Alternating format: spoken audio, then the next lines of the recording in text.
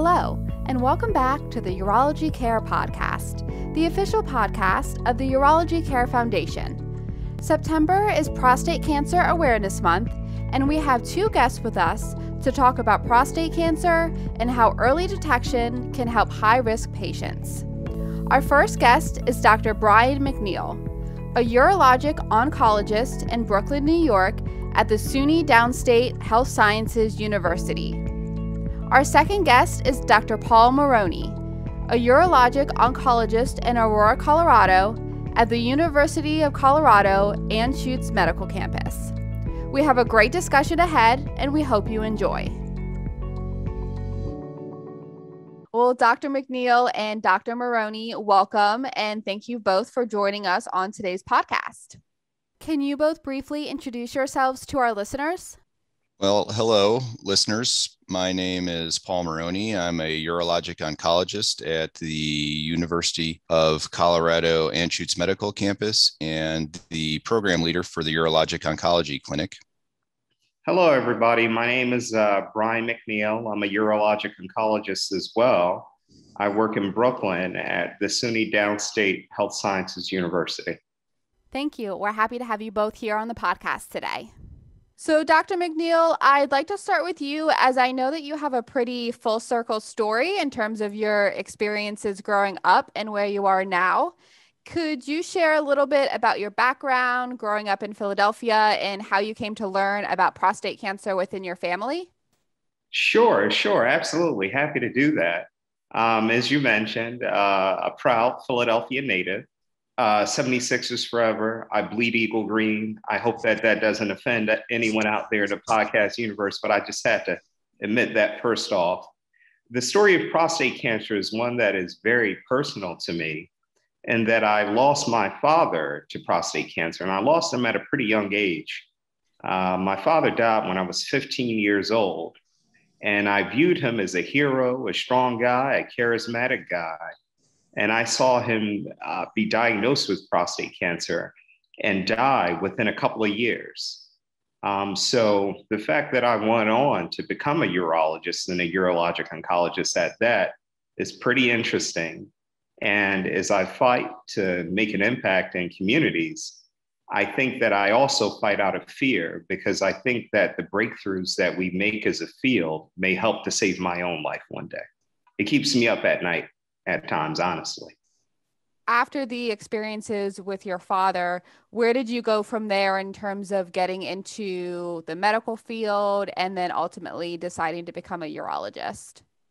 Yeah, yeah, great question. So, you know, losing my father at such a young age, I decided to seek out more male role models. And I was fortunate enough to uh, attend Morehouse College in Atlanta where I was exposed to a number of uh, great role models who really inspired me to be something uh, greater than myself in a way. And uh, they really um, inspired the mission of servant leadership. Uh, what led me to medicine was actually a dream. When I was a freshman at Morehouse, I had this same dream every couple of weeks. And I had a dream that I was in the laboratory working to re engineer the human immune system to attack various diseases. And I thought, hey, this must be a sign that I'm supposed to be a physician. And I decided to, you know, pursue the pre-med path and go to medical school. And what led me to urology was a surgical subspecialties rotation when I was a third year medical student. Um, I really enjoyed the urolog- working with the urologists that I met. I felt like I was part of a big team. And with every patient encounter, I thought about my father, I thought about my family, and I tried to deliver the care that I wish my father would have had when I was a younger male. That's incredible. Thank you. So now in your in your work now, um, I mean, I know you do a lot of work, obviously, with men who have prostate cancer, but also with those who are in underserved medical communities. What does that mean for you now, um, having the experiences that you did growing up? Yeah, it means a great deal. It uh, it really drives me every day there's this guy, Simon Sinek, and he has this theory about uh, what he calls the golden circle.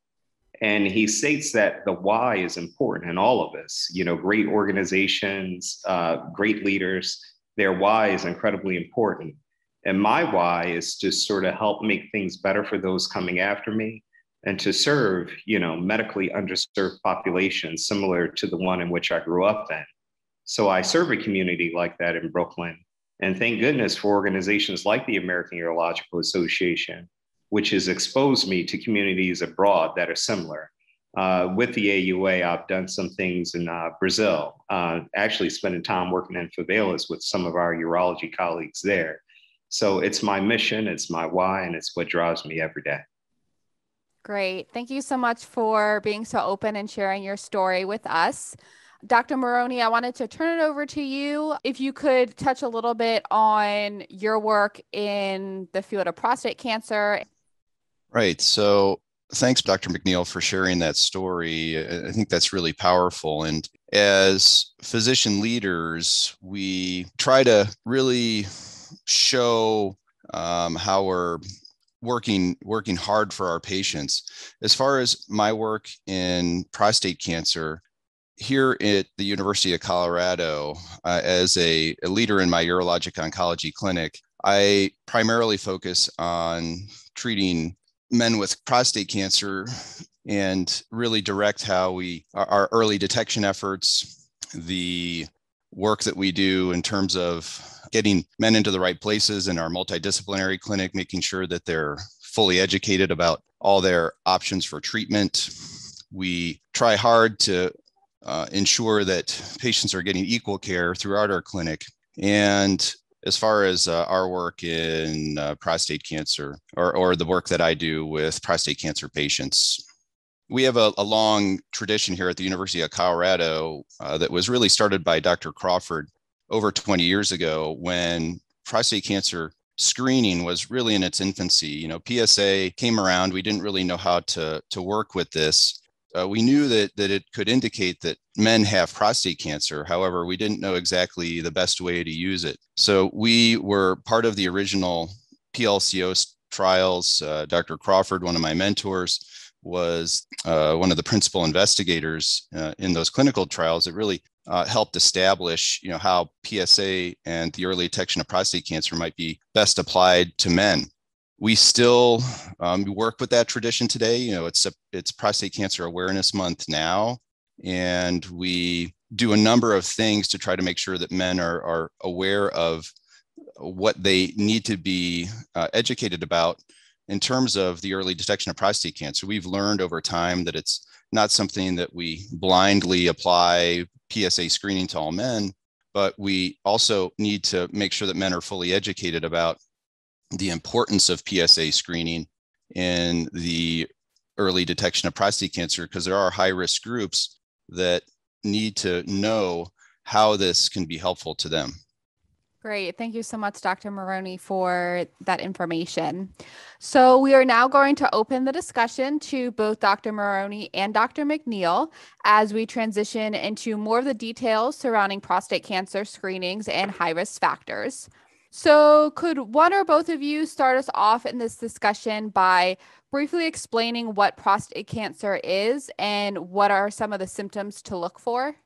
So the prostate gland is a small walnut-shaped organ that's uh, between the bladder and the penis. I describe it as kind of like a donut. Uh, the urethra uh, goes goes right through the through the middle of it. And when men have cancer, they're basically small cells that have decided to not follow the rules. Uh, the way that I think about cancer is, uh, you know, we have uh, this rule book that's our DNA. And the cancer starts to sort of cross out some of the rules and uh, starts to not not uh, not follow those instructions that our body gives it. So it starts to push other cells out of the way. It starts to break free and spread around the body. So you might find that the cancer grows and starts to push on, say, the urethra, or might spread to lymph nodes or, or even the bone uh, where it doesn't belong. Some of the symptoms that might men get as a result of this are some more difficulty with urination. Occasionally, if it's spread to the bone, they might get some pain in those areas. How we detect this is primarily through blood tests in a way, we're trying to find this early before it's caused some of these symptoms. And in the 1980s, we discovered that there's a blood test that, that may be able to, to help with this. Awesome. Thanks for uh, thanks for sharing. Thanks for the explanation. When you think of screening and screening for any disease, basically you're just trying to find out whether or not somebody has it before it causes a problem. Most guys with prostate cancer don't have symptoms, and if you do have prostate uh, cancer symptoms, it's typically because you have advanced disease. So, all of the things that we look at in terms of screening and determining whether or not someone's at high risk, we're trying to find it before it causes a problem. And if we're able to intervene before it causes a problem, you have a chance of having a great outcome. So, prostate cancer, like many other cancers, typically has certain risk factors that increase a person's risk of developing this type of cancer. Could you talk about these risk factors and what makes a person a high risk patient for prostate cancer? So I'm actually smiling. I know the audience, you can't see me, you can only hear me, but hopefully you can feel the joy in my voice because if one were to say, hey, what's a risk factor for prostate cancer? I know this is a podcast, but if you could just put a picture of me up on a screen, I would be a walking risk factor, all of me. So let's so let's think about it. Your age, I'm not in the high risk group yet, but for the most part, we look at for prostate cancer men who are between the ages of 55 and 70. I'm a bit younger than that. I won't tell you how much younger I am, but my because my father had prostate cancer, because my father died from prostate cancer at a younger age, because there are other men in my family who have prostate cancer, um, I am at higher risk. I'm also at higher risk because I'm African American. And also, I'm at higher risk because there are members of my family who have had breast cancer. You may think it's weird, like, how does breast cancer relate to prostate cancer? Believe it or not, there are similar genes that act in both diseases. So, those are some of the risk factors for prostate cancer. With uh, as far as risk factors for prostate cancer, Dr. McNeil mentioned all of them. We're talking about age. Uh, if you're older, this is a risk factor for prostate cancer, genetic susceptibility. So if you had a, a uh, family history of especially metastatic prostate cancer that you develop at a young age, breast cancer is mentioned, ovarian cancer, pancreatic cancer, colorectal cancer, endometrial cancer, any of those cancer, especially at younger ages, men of African ancestry, we know for reasons that aren't entirely clear, but we're starting to put those links together about the, the genetic reasons why that might be. Uh, men of African ancestry are also at higher risk for developing prostate cancer. So, you know, some of those areas being explored uh, and investigated include uh, some genetic or epigenetic differences in androgens, androgen receptors. There might be some other growth factors that could be responsible for some of these differences that urologists need to be aware of. Thank you for that information. So, in terms of early detection and prevention, what are prostate cancer screenings and how can they help?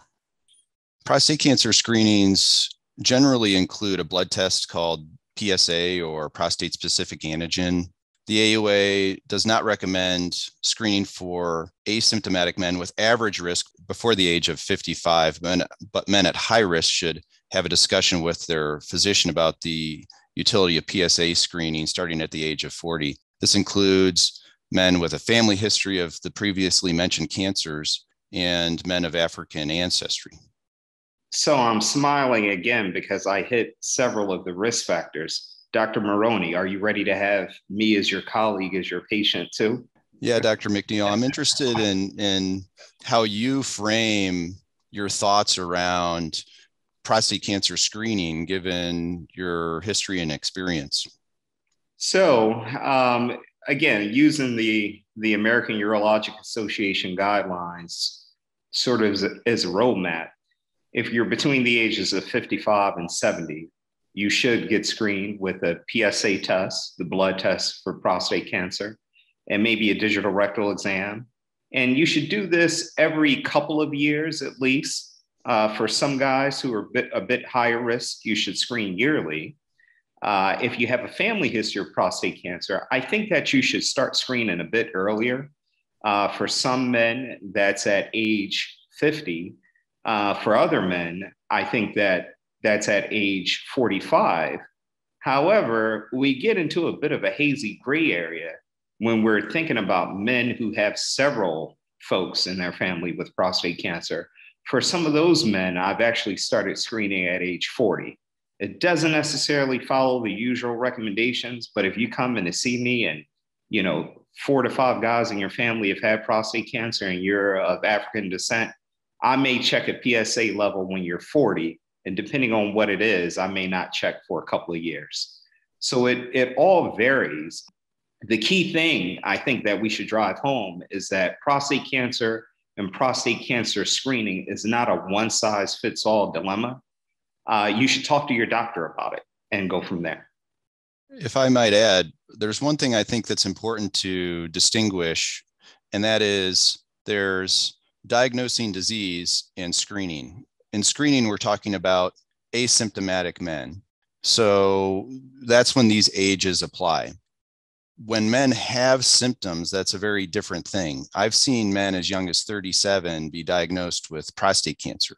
And, and these are generally, uh, you know, in, th- in this case, it was somebody that had prostatitis like symptoms for several years and had many cores with prostate cancer present. So I think it's important for not just urologists, but also primary care providers to be understanding of this idea that, okay, yeah, screening is for asymptomatic men, but when we have people that have concerning symptoms, we need to be uh, thinking about checking PSA levels. Agreed. I'm totally with you on that, Dr. Maroni. Thank you both for that information. Now, I know that there are many different treatment options for prostate cancer. So, what would you say for someone who is looking to learn about the best treatment for their situation? There are so many different uh, treatment options for prostate cancer. Uh, we don't have to go down the rabbit hole today and go into the details, but there's surgery, there's radiation. For others, actually, we just watch it there's something called active surveillance where you may have a low risk prostate cancer and we may just follow you and check a blood test every few months or so. There are even some guys that we're doing cryotherapy on. We're actually freezing the prostate.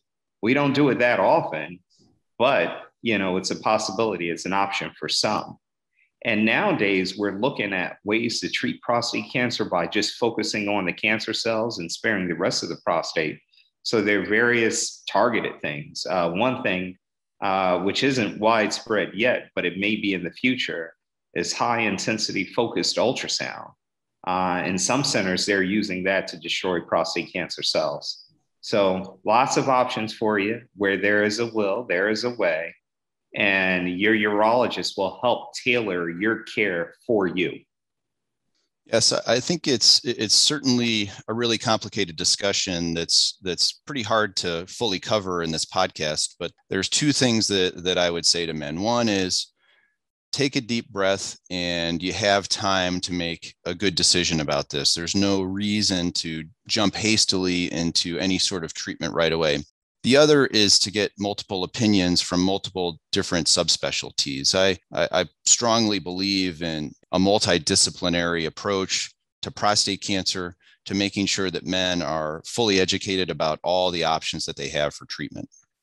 And so, with all of this information and all of the information that's out there about prostate cancer, there are still communities that do not have access to the resources needed to care for patients with prostate cancer, especially those who may be at high risk. Can you talk a little bit about those disparities in the medical field and why they occur?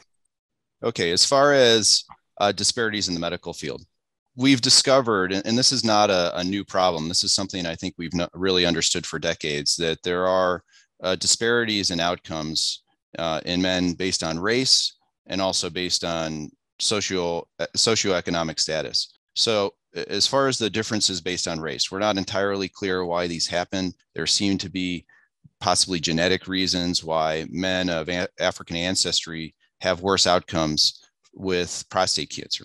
As far as uh, as far as the socioeconomic differences, not only uh, men of African ancestry, but also other indigenous peoples, uh, Latinx or Hispanic uh, ethnicities, uh, or non English speaking patients seem to have worse outcomes. And uh, we need to really tackle this as a urologic community to try to make sure that all of our patients are getting equal care and the care that they deserve. I agree with you, Dr. Maroni. Uh, you know, again, there are some uh, topics surrounding prostate cancer which are incredibly personal to me. And just from the disparity uh, perspective, I often think of healthcare disparities and how they affect uh, families. You know, again, I think that in some ways, when we become adults, we're all living out the, the things of our childhood, whether they were good things or tra- trauma. And for me, losing my father when I was 15, it was a uh, it was traumatic.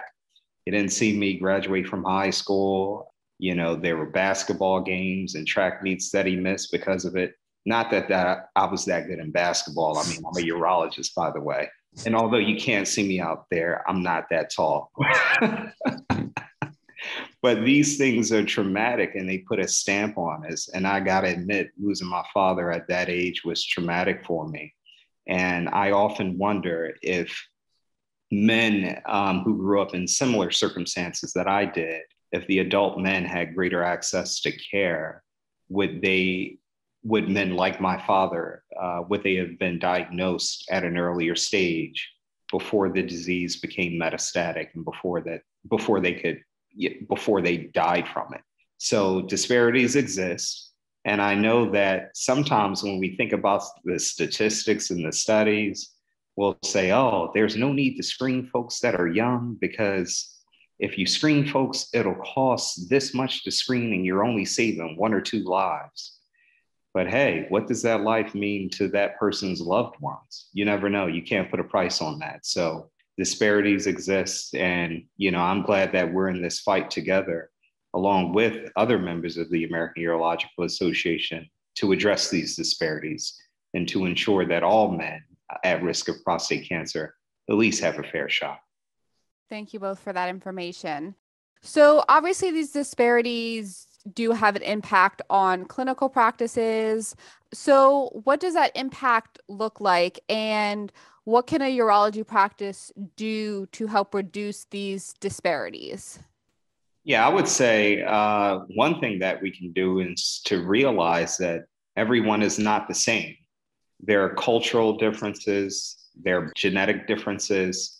And I think that urology practices, uh, we need to remain uh, somewhat flexible and sort of meet our communities where they are, whether that's outreach, whether that's taking a little more time to explain screening and what it is and how beneficial it is to someone who may not get it initially. I think that we need to remain uh, somewhat flexible and aim to address our communities uh, where they are. Yeah, the biggest impact on clinical practice is, I think, is the effect of delayed care. So this usually means that instead of dealing with an easy problem, we have a, a problem that's many times more difficult to take care of. So we'll see kidney stones that are larger. We'll see prostate or testis cancers that have become metastatic that we might have been able to intervene on earlier. This, this is going to require a higher intensity of care that's going to distract from, from other needs in our practice, or it may have created a problem that can only be managed at a tertiary facility that may be really far from where these patients live, which really compounds the problem. As far as how do we reduce these disparities, I'm going to talk about this pretty broadly. We, we know these healthcare disparities exist beyond prostate cancer in men of African ancestry. It's our, our Hispanic and Latinx patients, indigenous peoples, Asian, and other non English speaking communities have worse health outcomes by most metrics. But there are many things that can be done. We can try to have educational materials that are written at a fifth grade level and multiple languages available in the clinic. And I really appreciate the fact that the Urology Care Foundation is starting to build some of these materials to help smooth out some of these language barriers. Uh, it's important to have interpreter surfaces available and and with technology now we can have at least in my clinic we have these rolling ipad like kiosks that uh, we can have any language available within moments uh, this has made the conversation with a non English speaking patient considerably easier. I think it's important to hire a staff that reflects your community and market this uh, so that you can uh, have a staff that's going to meet the needs and make your uh, your community members feel more comfortable when they come into your clinic. Have discount prescription cards available for your patients. Track your outcomes and compare these based on race or ethnicity consider sponsoring a health fair and par- or partnering with a local group as a service event for your practice. So here this month, it's Prostate Cancer Awareness Month. and we're partnering with the Center for African American Health and Inner City uh, Clinic to have a prostate screening event to really shine a light on this. Uh, be an advocate. Thankfully, social determinants of health is now an element in the 2021 E&M billing rules, and I think that's important. But I also think the use of interpreter services should be an additional element. We need to try to work towards that as a, a group. Finally, and most importantly, be aware of these disparities. We are used to diagnosing disease and looking out for high risk patients. When we have an underserved community member, this should really alert us that uh, these patients generally have poor outcomes. And we need to identify these patients as high risk patients. And we need to work hard to make sure that the medical they get the medical care and the education that they deserve. Thank you so much for that. So, what advice do you both have for patients and caregivers regarding early detection of prostate cancer, especially within those communities that may not have access to as many resources? Have a conversation with your doc about it. You know, be open, speak about your family, your family history, and ask your doctor should I have a PSA test done? Should I have a digital rectal exam done? Uh, there's this bit that we call shared decision making that I think Dr. Maroni mentioned a little earlier. And, uh, you know, it's a shared decision. Claim ownership of it. Have the conversation, and we'll take it from there. Thanks, Dr. McNeil. For patients that have a primary care provider, I, that I think they should absolutely have that conversation if they if they know they're a high risk group or at least engage with their primary care provider to talk about some of the risk factors that they might have. If they don't have a primary care provider, try to participate in a local screening event. Many churches, mosques, synagogues, community centers, and clinics are going to have these from time to time. So, this may be an opportunity where you can get a PSA test. And then, if you get alerted that you have an abnormal level, then try to reach out to whatever hospitals or clinics that might be around you to see if they can help you determine whether you need to take that a step further. Find a practice that fits your needs and, and budget. Some community practices have flexible payment plans. Uh, you can visit with a case manager at your community hospital. Sometimes patients are surprised that they might actually qualify for a health plan. I have patients that uh, that uh, that I'll see from time to time, and they're they're pleasantly uh, surprised that they are able to to get health insurance when they didn't think they were otherwise able to. The rules seem to be changing all the time for who qualifies for for some of these health plans. Do either of you have anything else you'd like to share with our listeners today on this topic? Uh, at the time of this recording, we remain in the midst of the uh, coronavirus pandemic. Um, it's sort of waxed and waned. And I'd like to highlight that communities that were at risk before, they're at even greater risk now. The coronavirus pandemic has limited access to care for several men at risk of prostate cancer. And it's also delayed therapy for several men who should have had radiation or surgery um, to address their prostate cancer. So there's a lot of work to do in the uh, healthcare disparity space, especially as it relates to prostate cancer. And we should all keep that in mind. I think Dr. McNeil's comments are, are so salient that this pandemic has amplified the healthcare disparities. We are looking through an article yesterday at uh, Medicare beneficiaries. Caucasian Americans had had about a 13% worse mortality through the pandemic, but in Asian, African ancestry populations, uh, indigenous peoples, those differences in healthcare mortalities for those populations were more in the 20 to 35% range. So it was substantially higher during the pandemic. We need to really take this opportunity to focus on how we you know how we uh, the, the procedures that we have in our practices noticing that our patient you know we want to strive for equal outcomes for all of our patients uh, that's just part of being good doctoring i really appreciate that the fact that the urology care foundation is spending a lot of time trying to build new materials and shining a spotlight on healthcare disparities as something that we all need to work on in improving the care that we give for our patients. Dr. McNeil and Dr. Maroni, thank you both for taking the time for this important discussion.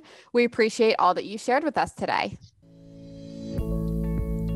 This podcast is part of an educational series supported by independent educational grants from Astellas, Bayer Healthcare Pharmaceuticals, Genentech, Janssen Biotech, administered by Janssen Scientific Affairs, Merck, and Pfizer.